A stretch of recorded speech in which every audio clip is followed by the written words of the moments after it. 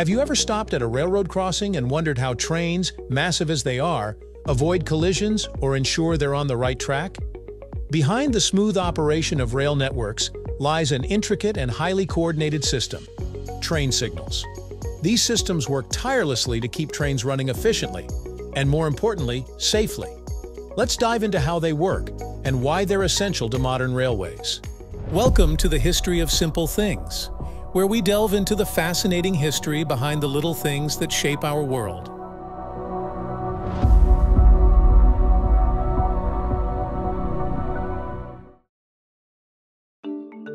At its core, a train signal system is a network of visual and electronic indicators designed to control the movement of trains.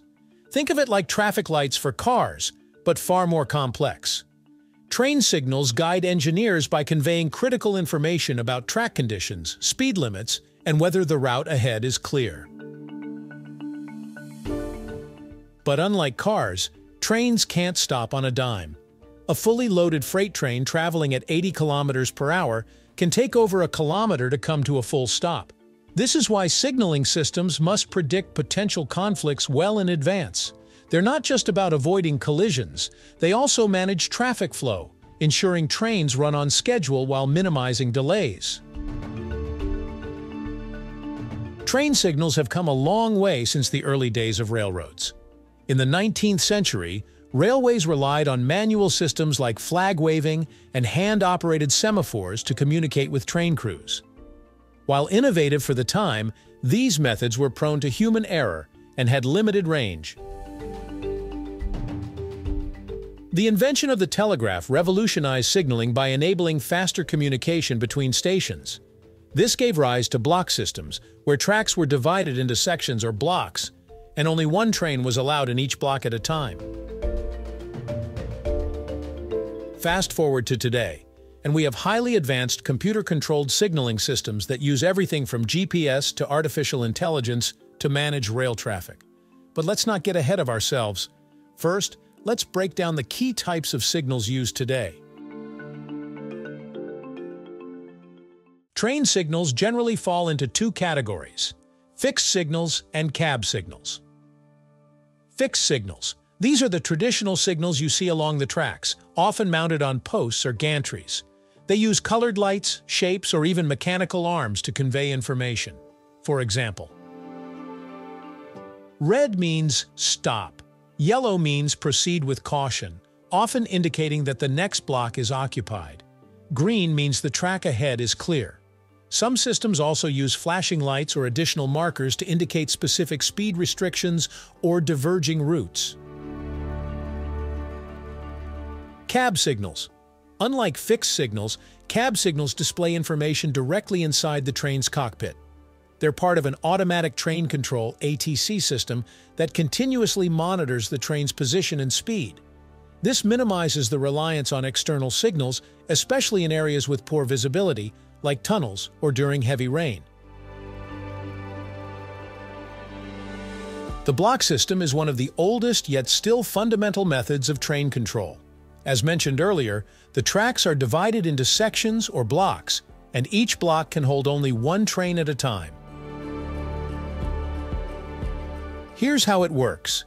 Each block is equipped with track circuits that detect whether a train is present.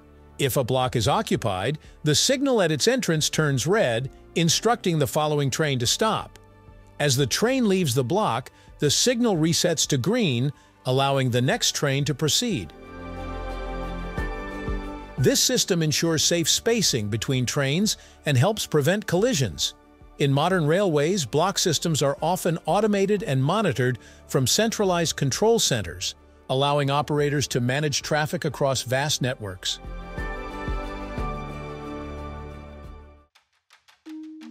While traditional block systems are effective, they have limitations, especially on busy rail lines. Enter the moving block system, a game changer for high-speed and urban rail networks. Unlike fixed blocks, moving block systems don't rely on predefined sections of track. Instead, they calculate a safe zone around each train in real time using GPS, sensors, and onboard computers. This allows trains to run closer together without compromising safety, significantly increasing the capacity of the rail network. It's like upgrading from a manual transmission car to an autonomous vehicle, more efficient and much smarter. Another cutting-edge technology is Communication-Based Train Control, or CBTC. This system uses wireless communication between trains and control centers to optimize train movement. It's particularly common in metro systems and high-speed rail. CBTC allows for precise control over acceleration, braking, and stopping, enabling trains to run at higher frequencies.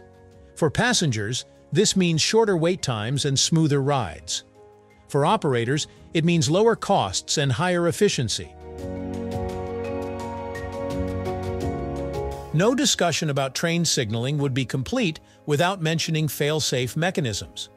Railways are built on the principle that it's better to stop a train unnecessarily than to risk an accident. For instance, Automatic braking systems kick in if a train ignores a red signal. In more advanced setups, trains are equipped with Positive Train Control PTC, which uses GPS and onboard systems to enforce speed limits and prevent dangerous movements. These systems are especially crucial in preventing human error, which remains one of the leading causes of railway accidents. While technology does much of the heavy lifting, human operators still play a critical role in train signaling. From monitoring control panels to responding to emergencies, they ensure the system runs smoothly. Engineers, dispatchers, and maintenance crews work tirelessly behind the scenes, often in high-pressure environments. Their expertise is what keeps the wheels turning, literally. The future of train signaling is bright and, unsurprisingly, digital. Innovations like artificial intelligence and machine learning are set to revolutionize how rail networks operate. Imagine a system where algorithms predict maintenance needs, optimize routes in real time, and even anticipate delays before they happen. Autonomous trains are also on the horizon, relying entirely on advanced signaling systems to navigate the tracks. While these developments may sound futuristic, they're closer to reality than you think. Train signals may not be the flashiest part of the railway system, but they're undoubtedly among the most important. They ensure safety, boost efficiency, and enable the seamless movement of people and goods across vast distances. So the next time you see a train whizzing by, Take a moment to appreciate the unseen network of signals and systems making it all possible. It's a symphony of technology and teamwork, a true marvel of modern engineering. Thank you for watching. If you have suggestions for our next video, feel free to share them in the comments below. We'll be sure to give you an acknowledgement for your contribution.